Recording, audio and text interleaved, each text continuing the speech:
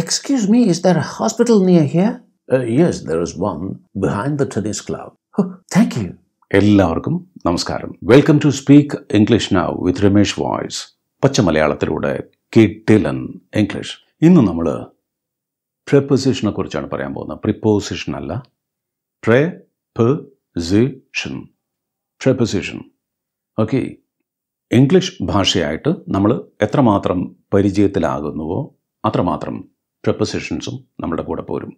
ഒരു പാടുണ്ട് ഒരു ഒരുപാട് തരത്തിലും തലത്തിലൊക്കെ ഉണ്ട്. അതുകൊണ്ട് തന്നെ ഒരുപാട് വർഷത്തെ പ്രായോഗിക പരിചയം കൊണ്ടേ നമുക്ക് അതിൽ പ്രത്യേക ഒരു കഴിവ് നേടിയെടുക്കാൻ പറ്റൂ.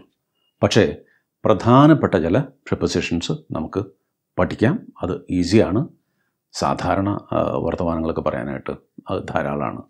പ്രിപ്പസിഷൻസിന് നമുക്ക് പ്രധാനമായിട്ട് രണ്ടായിട്ട് തിരിക്കാം. ഒന്ന് പ്രിപ്പസിഷൻസ് ഓഫ് പ്ലേസ് രണ്ട് പ്രിപ്പസിഷൻസ് ഓഫ് ടൈം ഓക്കെ അപ്പോൾ പ്രിപ്പസിഷൻസ് ഓഫ് പ്ലേസ് ആണ് നമ്മളിവിടെ പഠിക്കാൻ പോകുന്നത്. ഒരു കാര്യം എവിടെയാണ് അതിന്റെ ഒരു സ്ഥാനം എവിടെയാണ് എങ്ങനെയാണ് അത് ചോദിക്കാനായിട്ടാണ് അല്ലെങ്കിൽ അത് പറയാനായിട്ടാണ് നമ്മൾ പ്രിപ്പസിഷൻസ് ഓഫ് പ്ലേസ് പ്രധാനമായിട്ട് ഉപയോഗിക്കുന്നത്. പ്രിപ്പസിഷൻസ് ഓഫ് പ്ലേസ് അത് നമ്മൾ പഠിച്ചിട്ടുണ്ടെങ്കിൽ ആരൊക്കെ എന്തൊക്കെ എവിടെയാണെന്ന് ചോദിക്കാനും പറയാനൊക്കെ പറ്റും. ഇതിൽ ഒരുപാടെണ്ണം നിങ്ങൾക്ക് അറിയുന്നതായിരിക്കും പക്ഷെ ചില കാര്യങ്ങൾ പുതുമയുള്ളതായിരിക്കും. ഒരുപക്ഷെ നിങ്ങൾ ശ്രദ്ധിച്ചിട്ടുണ്ടാവില്ല. ഇൻ എന്നുവെച്ചാൽ ഉള്ളിൽ ഓൺ എന്നുവെച്ചാൽ മേലെ അല്ലെങ്കിൽ പുറത്ത് അണ്ടർ എന്നുവെച്ചാൽ അടിയിൽ. Where is the watch it's in the box watch ബോക്സിന്റെ ഉള്ളിലാണ്. Where is the computer the computer is on the table where is the cat? The cat is under the table. The next to. എന്താണ് next to പലരും near എന്നുള്ളതും next to എന്നുള്ളതും തെറ്റിച്ച് പറയാറുണ്ട്. Next to എന്ന് വെച്ചാൽ തൊട്ടടുത്ത്. നിയർ അല്ലാതെ നെക്സ്റ്റ് ടു തൊട്ടടുത്ത്. നിയർ എന്ന് വെച്ചാൽ സമീപ പ്രദേശങ്ങളിൽ. എവിടെയാവാം? സായിപ്പിന്റെ കാര്യത്തിൽ അഞ്ച് കിലോമീറ്റർ വരെ അവർ നിയർ എന്ന് പറയും. ഞാൻ എവിടെയോ വായിച്ചിട്ടുള്ളതാണ്? മുമ്പ് വായിച്ചിട്ടുള്ളതാണ്. അപ്പം ഞാൻ ആലോചിച്ചു അതെന്തുകൊണ്ടായിരിക്കാം? നമ്മൾക്കൊരിക്കലും അഞ്ച് കിലോമീറ്റർ നമ്മളിപ്പോൾ വളരെ അടുത്തുനിന്ന് പറയില്ല. ഒരാൾ നമ്മളോട് വഴി ചോദിച്ചിട്ടുണ്ടെങ്കിൽ. എനിക്ക് തോന്നുന്നു നമ്മളൊക്കെ നടന്നും സൈക്കിളിൽ യാത്ര ചെയ്തിരുന്ന കാലത്ത് അതായത് വളരെ കാലം മുമ്പ് എന്ന കാറും മോട്ടോർ ബൈക്കൊക്കെ ഉണ്ടായിരുന്നിരിക്കും. അപ്പോൾ അന്ന് നമ്മൾ വഴി ചോദിക്കുമ്പോൾ ഇപ്പോൾ ഒരു കിലോമീറ്റർ അപ്പുറത്ത് കിടക്കുന്ന ഒരു കാര്യമായാലും നമ്മൾ നടന്നിട്ട് ഒരാളോട് വഴി ചോദിക്കുമ്പോൾ അയാൾ പറയും ഓ കുറച്ച് ദൂരെയാണല്ലോ ആ സ്ഥലം. അല്ലെങ്കിൽ കുറച്ച് ദൂരെയാണല്ലോ ആ വീട് എന്ന് പറയും. കാരണം മിനിമം നമുക്ക് അരമണിക്കൂറോ ഒരു മുക്കാൽ മണിക്കൂറോ ഒക്കെ നടന്നിട്ട് വേണം അവിടെ എത്താൻ പക്ഷേ ഇന്നത്തെ കാലത്ത് നമ്മളോട് ആരെങ്കിലും ബൈക്കിലോ അല്ലെങ്കിൽ കാറിലോ വന്നിട്ട് വഴി ചോദിക്കുമ്പോൾ നമ്മളിപ്പോൾ ഒരു കിലോമീറ്ററോ അല്ലെങ്കിൽ രണ്ട് കിലോമീറ്ററോ ഉണ്ടെങ്കിൽ പോലും വളരെ അകലെയാണെന്നല്ല നമ്മൾ പറയാം. ഓ അതടുത്താണ്. ഒരു അഞ്ച് മിനിറ്റ് അല്ലെങ്കിൽ പത്ത് മിനിറ്റ് പോയാൽ മതിയാവും അല്ലേ? അങ്ങനെ പറയാം. എന്നാലും അഞ്ച് കിലോമീറ്റർ എന്ന് പറയുന്നത് നമ്മളെ സംബന്ധിച്ചിപ്പോഴും കുറച്ച് അകലെയാണ്. അപ്പോൾ നിങ്ങൾക്ക് നെക്സ്റ്റ് ടു എന്നുള്ളതും നിയർ എന്നുള്ളതും ഉള്ള വ്യത്യാസം ഡിഫറൻസ് നിങ്ങൾക്ക് മനസ്സിലായിട്ടുണ്ടാവും അല്ലേ? Where is the bank it's next to the mosque തൊട്ടടുത്താണ്. പള്ളിയുടെ തൊട്ടടുത്താണ്. Where is the super market it's near the bus stand bus സ്റ്റാൻഡിന്റെ തൊട്ടടുത്തല്ല അതിന്റെ അടുത്ത വർത്താണ് ഉള്ളൂ. അതുപോലെ തന്നെയാണ് ഈ ബൈ എന്നുള്ളത്. നെക്സ്റ്റ് ടു എന്നുള്ളതും ബൈ എന്നുള്ളതും വലിയ വ്യത്യാസമില്ല.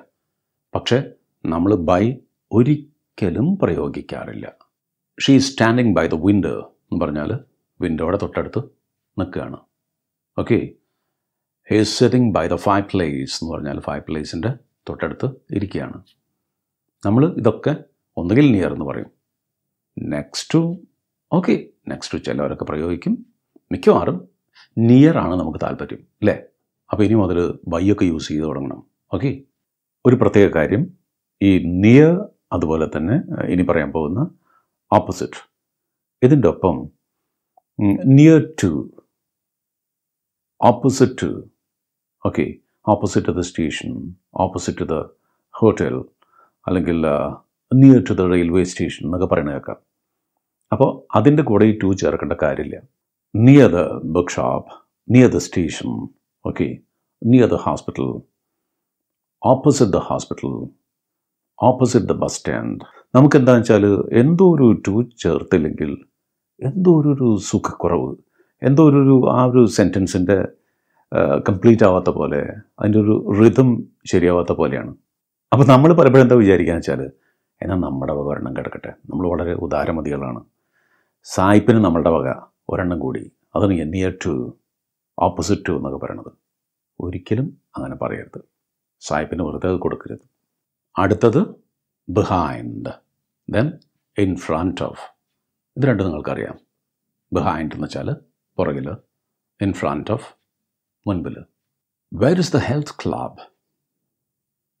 it's behind the hospital where is the hospital it's in front of the health club where is the shopping mall it's in front of the yoga centre next is opposite അതുപോലെ across from എന്നുള്ളത് ഏഹ്, തീരെ പരിചയമില്ലാത്തൊരു proposition ആയിരിക്കാം.